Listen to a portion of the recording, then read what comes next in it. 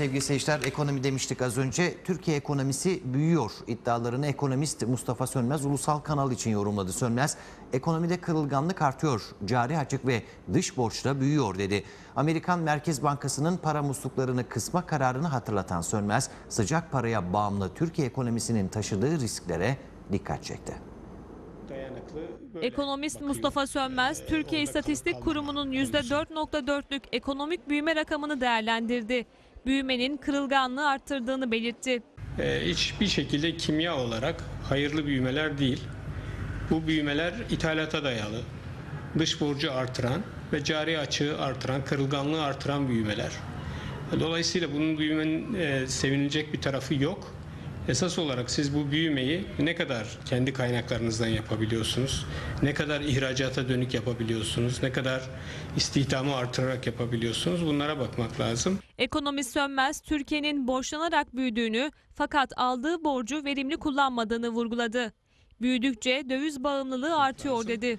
Yani Türkiye ekonomisi ancak dışarıdan borçlanarak büyüyebiliyor ve bu aldığı borcu da döviz üretecek şekilde kullanmıyor. Tersine içeride harcıyor, inşaata harcıyor, verimsiz faaliyetlere harcıyor, rekabet olmayan sektörlere harcıyor. Dolayısıyla sürekli bir döviz borçlusu, döviz bağımlısı hale geliyor. Büyüdükçe bağımlılık artıyor.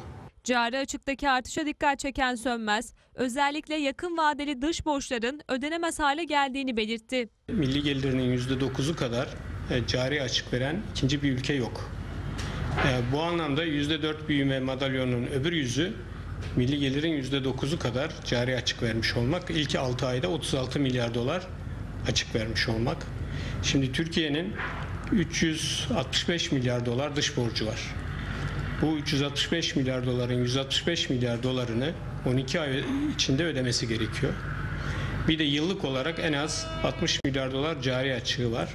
Bu 225 milyar dolar kaynak bulması anlamına geliyor. Ekonomist Sönmez, Amerikan Merkez Bankası Fed'in yakın zamanda para musluklarını kısacağını hatırlattı ve Türkiye ekonomisini ciddi sorunlar yaşayacağı konusunda uyardı.